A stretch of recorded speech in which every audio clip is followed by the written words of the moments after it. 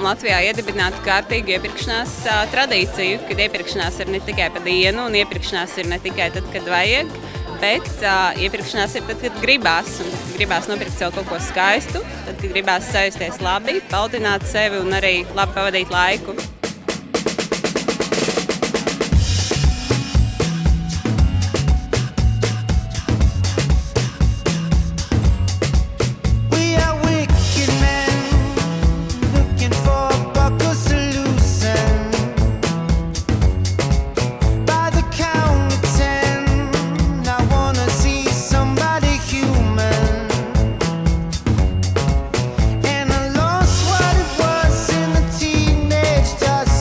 Mēs esam no košām darbnīcas nu, ar mērķi palīdzēt tapšanā šim pasākumam, lai teiksim, cilvēki, kas eh, iziet un rāda modes, lai būtu sakārtoti.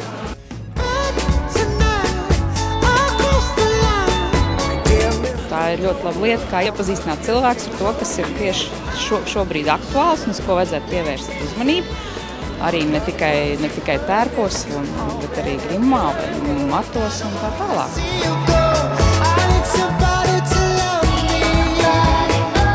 Šīs modes skates ir um, iepriekš diezgan rūpīgi plānotas un izvēlētas. Un pirmās četras ir tikai no apģērba un accessoriem un apaviem, kas ir nopērkami Rīga plāza veikalā.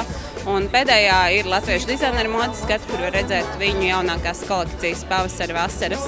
Un tas, kas attiecās uz lietām, kas ir nopērkams šeit veikalos, tur tika veikta milzīgs, milzīgs darbs, rūpīgi atlasi, izvēlēt labākie tērpi, kas ir kosmos stilā, kas atbilst jaunākajām tendencēm. Un pakārtot šim izveidot šīs četras know Un ar ko tad atšķirās šī modes nakts un iepirkšanās kaut vai no tā paša Fashion Week? Tieši ar to, ka šis ir cilvēkiem, visiem cilvēkiem pieejams pasākums. Šis nav pasākums tikai izredzētai publikai, kurā var iekļūt tikai ar ielūgumiem. Šis ir pasākums katram.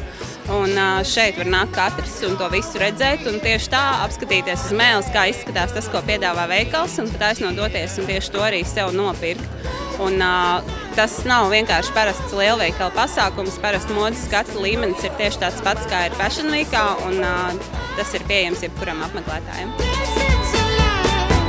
over and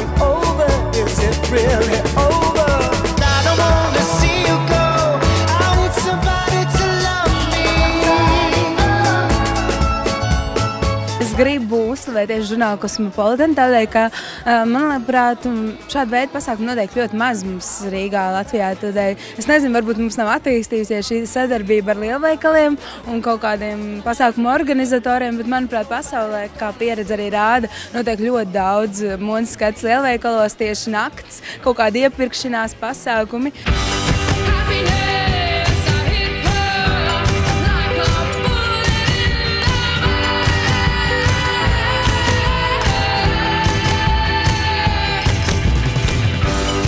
Man ā, ļoti patika, jo es nopirku ļoti daudz ko.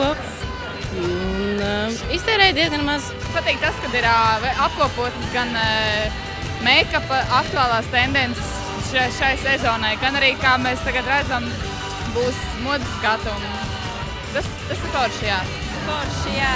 Jo dienā parasti var nebūt laika, un tad naktī atbraucam mierīgi. Šeit arī ne tikai iepirkšanās, bet forši tas, ka modes skati visādi pasākumu jautri. Un es gribu redzēt modes skati, varbūt kāds jaunākās tendences redzēt.